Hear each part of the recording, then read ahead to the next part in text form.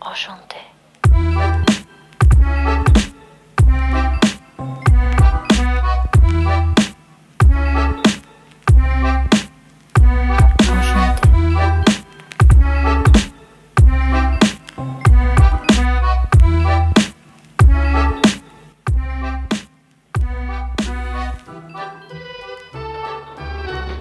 Hello lovelies, I'm Angela and this is Parisienne Farmgirl. If you never have, take a quick second, be sure to subscribe and give this video a thumbs up. That way, YouTube will share it with other people that are looking for the very best hot chocolate recipe. Today I am going to share with you very quickly how to make authentic French chocolat chaud. This recipe and a whole lot more family favorites of course are found in my cookbook From France to the Farm and I'm just giving it a little bit of a push because it's the holidays and everyone needs a fabulous cookbook in their stocking. It's so simple. You need one cup of milk and 3.5 ounces of the best chocolate that you can get your hands on. Today I have Scharffen Berger. You can use Valrhona something semi-sweet, bittersweet, maybe 72% cacao, even 80% cacao if you're feeling very brave. So we're going to chop some chocolate, heat it on the stove top, and make some delicious chocolat chaud.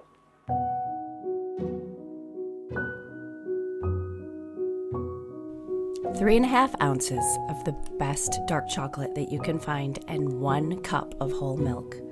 Simply combine the ingredients in a small saucepan and whisk over medium heat until blended. You can top yours with chantilly or fresh whipped cream, and this recipe can be easily doubled or tripled. It will take you to Paris in an instant. If you would ever like to have the city of Paris to yourself, then head to bed early Saturday night and wake up early Sunday morning.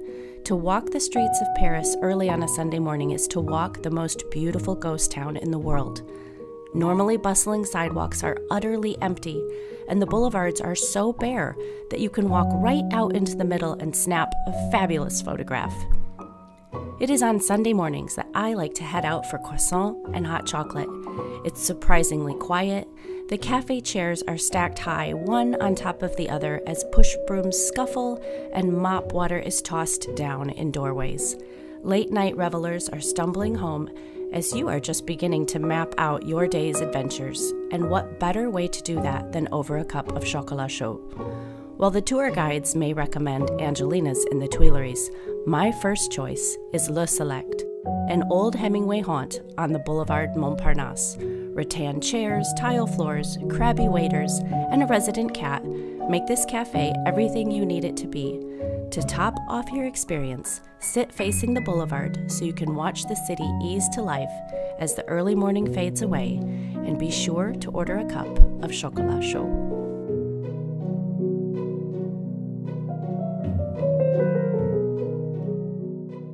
Enchanté. Chopping. Chopping. Sawing or chopping?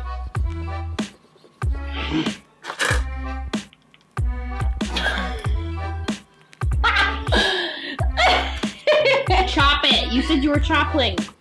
I can't even see that. La la la, I'm here. I'm doing things because my daughter won't help me. Hey, come on. Come on, man. You know the thing.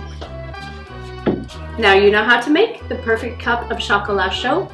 Be sure to tune into my next video this weekend where I will be tablescaping, getting ready for Thanksgiving, getting out all my pretty dishes and giving you some table setting ideas and inspiration for your Thanksgiving table. If you'd like to binge on some more holiday inspiration, check out this playlist right here. Be sure to subscribe and I will see you very soon. A bientôt.